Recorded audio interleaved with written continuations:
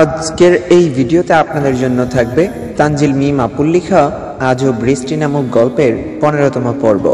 আশা রাখছি শেষ পর্যন্ত দেখার পর অবশ্যই কমেন্ট করবেন। ভালো লেগে থাকলে একটা লাইক দিতে ভুলবেন না। তো চলুন কথা না বলে সরাসরি গল্পে চলে যাই। আচমকাই কোনো পুরুষালীর কণ্ঠ কানে আসতেই থেমে গেল প্রিয়তা। আশেপাশে তাকালো সে।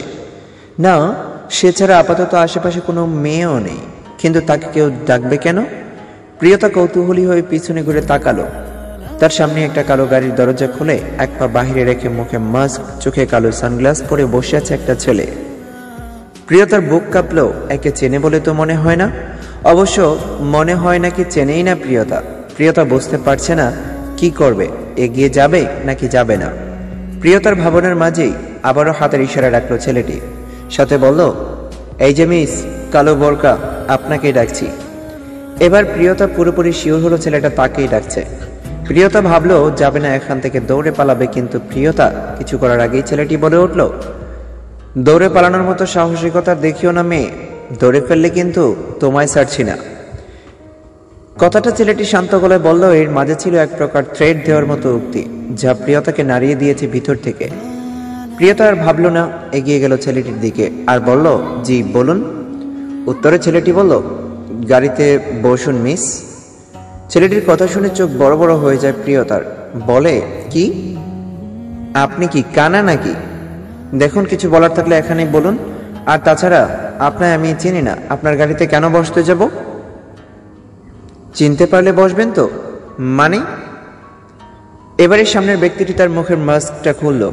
সঙ্গে সঙ্গে সামনের ছেলেটার মুখ দেখে বলে উঠল, প্রিয়তা, আপনি? অপূর্ব সঙ্গে সঙ্গে তার মুখের মাস্কটা লাগিয়ে নিল আর বলল, হুম, আমি। এখন জলদি ভেতরে আসুন, আপনার সাথে কথা আছে।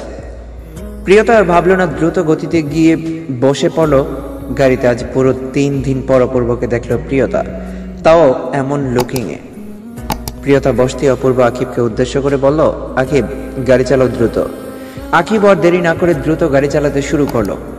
অপূর্বের কথা শুনে প্রিয়তা তাকালো সামনের ড্রাইভার সিটে বসা আকিবের দিকে। ছেলেটাকে একদমই খেয়াল করেনি প্রিয়তা। আকিব আজ মুখে মাস্ক পরে এসেছে। বিষয়টা একটু কেমন লাগলেও বেশি ভাবলো না প্রিয়তা। অপূর্বকে উদ্দেশ্য করে বলল, আপনারা এখানে কি করছেন? কোনো কাজে এসেছিলেন নাকি? অপূর্ব উত্তর দেয় না। উল্টো বলে, তুমি আমায় না বলে কেন চলে এলে প্রিয়তা? প্রিয়তা থমকালো, ভরকালো। এক অন্যরকম হিম শীতল বাতাস বয়ে গেল যেন গা বেয়ে। এই প্রথম অপূর্ব তার নাম ধরে ডাকলো তার মানে নিশ্চয়ই প্রিয়তার চিঠিটা পড়েছে অপূর্ব? কারণ অপূর্ব তো তার নাম জানতো না। প্রিয়তার ভাবনার মাঝেই বলে উঠল, অপূর্ব, কি হলো? কথা বলছো না কেন? প্রিয়তা চমকায়, নিজেকে সামলে বলে, আসলে আসলে কি? না মানে আরোহীর মা বাবা চলে এসেছিল, সাথে আমার শরীরটাও ঠিক ছিল। এইভাবে অপরিচিত কারও বাসায় কতদিন থাকা যায় বলুন? তাই চলে এসেছি। আর আপনার না বলে আসার ইচ্ছে ছিল না। আমি আপনার অপেক্ষাতেই ছিলাম। তো কিন্তু আপনি আসেননি, তাই তো? থেমে যায় প্রিয়তা। প্রিয়তার কথা শুনে তেমন কোনো রিয়াকশন দেয় না অপূর্ব, কারণ এগুলো তো তার জানা। তারপরও প্রিয়তার মুখ থেকে শুনতে মন চাইল অপূর্বের। অপূর্ব তাকালো প্রিয়তার বোরকার আড়ালে লুকিয়ে রাখা টানা টানা চোখ দুটির দিকে আজকে মেয়েটা চোখে হালকা কাজল দিয়েছে। এতে যেন আরও বেশি মায়াবী আর আকৃষ্টজনক লাগছে প্রিয়তার চোখ দুটো অপূর্বতার চোখ সরিয়ে নিল না। এভাবে তাকিয়ে থাকা ঠিক না। মানুষ তো তাকে দুশ্চরিত্র ভাববে। অপূর্ব নিজেকে সামলে বলল, তা এখানে কি জন্য এসেছিলে? ওই তো সামনের ইউনিভার্সিটিতে ভর্তি হতে। এখন বাড়ি যাচ্ছি। কোথাও উঠেছো তুমি? উত্তরে প্রিয়তা বড় একটা নিঃশ্বাস ফেলে, এক শ্বাসে বলে উঠল, এখান থেকে কয়েক কিলোমিটার দূরে একটা নিস্তেজ নিরিবিলি মাখা পরিবেশের চারিদিকে গাছপালায় ঘেরা তন্দ্রাবিলাস নামের একতলা ভবনে গ্রান্ডমার বাড়ি। প্রিয়তার কথা শুনে বিষম খায় অপূর্ব আর আকিব ফিক করে হেসে দেয়, সাথে বলে, বাবা গো বাবা, এত বড় অ্যাড্রেস?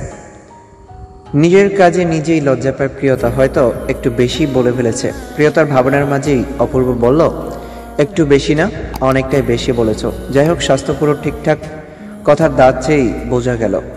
উত্তর দেয় না প্রিয়তা। লজ্জায় মাথা নিচু করে ফেলে প্রিয়তার কাণ্ডে হালকা হাসি অপূর্ব।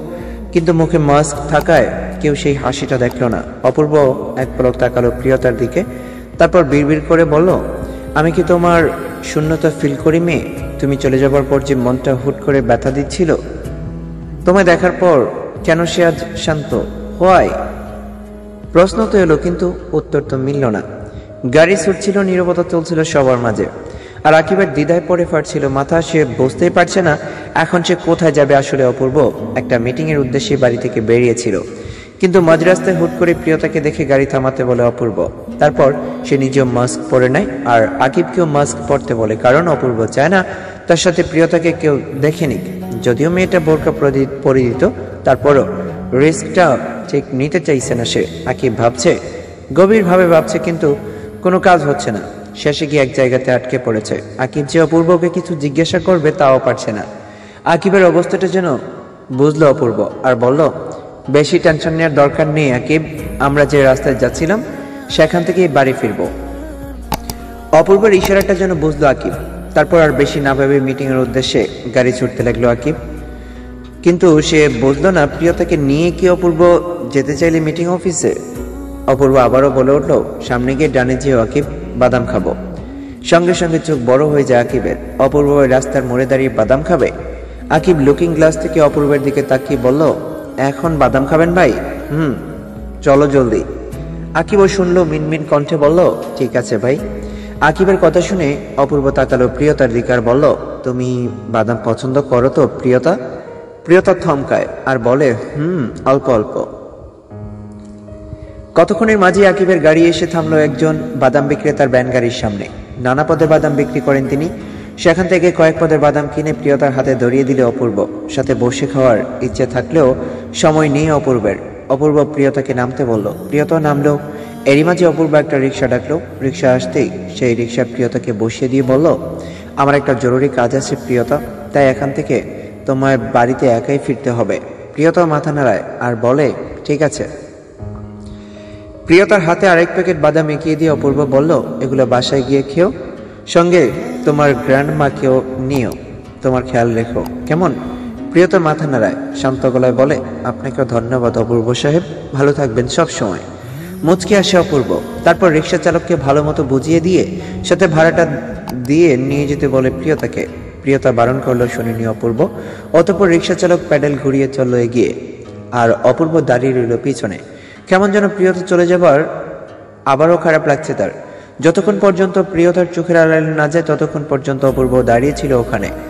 কিছু একটা চলছিল তার মনের মাঝে, কিন্তু কি চলছিল তাই বোঝা গেল না।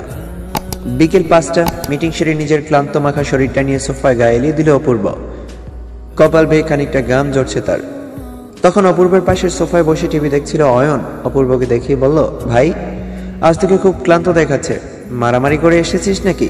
উত্তর দেয় না অপূর্ব, আর বলে, এক গ্লাস পানি নিয়ে আয় তো অয়ন। অয়নে শুনলো বাদ্য ছেলের মতো চলে যায় ভাইয়ের জন্য পানি আনতে। কিছুক্ষণের মধ্যে নিয়েও এসে দেয় অপূর্বের দিকে আর বলে, নে ভাই। অপূর্ব হাতে নেয়। তারপর ঢকঢক করে পানিটুকু গিলে নেয়, গ্লাসটা এগিয়ে দেয় অয়নের দিকে। তারপর চোখ বন্ধ করে শরীরটাকে আবারও এলিয়ে দেয় সোফায়। এরই মাঝে অয়ন সামনের সোফায় বসতে বসতে বলে উঠল, ভাই, শুনলাম নাকি আশকোনার ছাত্রদলীয় নেতা আবু তালেবের ছেলে শাহরিয়ার আদনান নাকি এবার ইলেকশনে দাঁড়াচ্ছে? কথা তুই জানিস ভাই? অপূর্ব চোখ বন্ধ করে অয়নের পুরো কথাটা শুনল। মুহূর্তেই শাহরিয়ার আদনান নামটা যেন মস্তিষ্কে আটকে গেল তার। দুবার মনে মনে উচ্চারণ করল শাহরিয়ার আদনান। ইংরেজিতে বললে শাহরিয়ার এস, আদনান এ মানে এস এ। সঙ্গে সঙ্গে চোখ খুলে ফেলল অপূর্ব। তবে কি এস এই শাহরিয়ার আদনান? কিন্তু তা কি করে সম্ভব? ছেলেটার সাথে তো তার দেখাই হয়নি অপূর্বের। তাহলে ক্ষতি করতে চাইবে কেন? ফট করেই বসা থেকে উঠে দাঁড়াল অপূর্ব আর বলল, তুই শিওর, অয়ন? আবু তালেবের ছেলের নাম শাহরিয়ার আদনান অয়ন যেন চমকালো আর বলল, হুম, এই দেখ, পত্রিকার নাম দিয়েছে। অপূর্ব দেখল, মনে মনে কিছু একটা ভেবেই হনহনিয়ে রুমে চলে গেল। আর অয়ন জাস্ট হাঁ হয়ে দেখল, সাথে বিড়বিড় করে বলল, ব্যাপারটা কি হলো? তো ফ্রেন্ডস এতটুকু ছিল আজকের গল্পের পর্ব। কেমন লেগেছে জানিয়ে কমেন্ট করবেন, ভালো লেগে থাকলে। একটা লাইক দিতে ভুলবেন না। সবসময় ফারুক স্যারের সাথে অনেক ভালো থাকুন সুস্থ থাকুন সেই কামনায়। আল্লাহ হাফিজ বাবা টাটা।